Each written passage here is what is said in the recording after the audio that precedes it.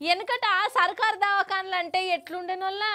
నేను రాను బిడ్డో సర్కారు దవాఖానాకు అని పాటలు కూడా కైగట్టేది.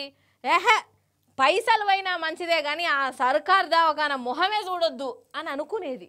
ఇది ఒకప్పుడు మరి ఇప్పుడు ఎట్లున్నది సర్కారు దవాఖానకు కలెక్టర్లు కూడా పోయి ట్రీట్మెంట్ తీసుకుంటుర్రు.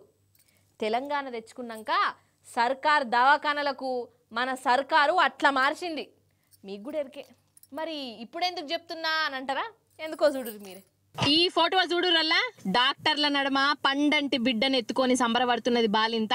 బిడ్డ తండ్రి డాక్టర్లతోని కలిసి పోటువ తీసుకుంటుండు. ఇంతకు ఈ సారుని ఏర్పాటు చేసిర్రా మీరు?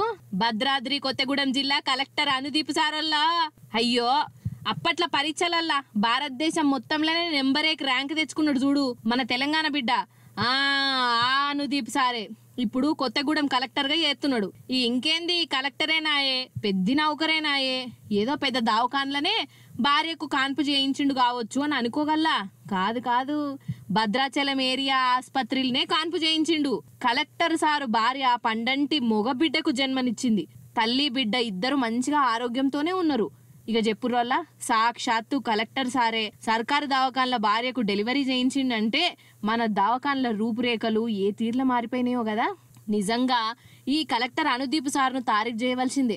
నేను గవర్నమెంట్ దవాఖానకే పోతున్నా మీరు కూడా ట్రీట్మెంట్ కోసం ఇక్కడికే రాన్రి మంచి మంచి సౌలతులు ఉన్నాయి అని జనాలకు ఇగో ఇట్లా పిలిపించిండు. అనుదీప్ సార్ అనే కాదు ఇంతకు ముందు కూడా Khammam additional collector Snehalatha madam కూడా ఖమ్మం సర్కార్ దవాఖాన్ల కాన్పు చేయించుకున్నది. స్నేహలత మేడం పెనిమిటి పెద్ద ఐపీఎస్ ఆఫీసరు. ఆల్మొగలు ఇద్దరు పెద్ద పెద్ద పోస్టులలో ఉన్నా గానీ సర్కార్ దవాఖాన్లకే పోయిర్రంటే ఇక్కడ అంత మంచిగా సవలతులు ఉన్నాయి అన్నట్టు.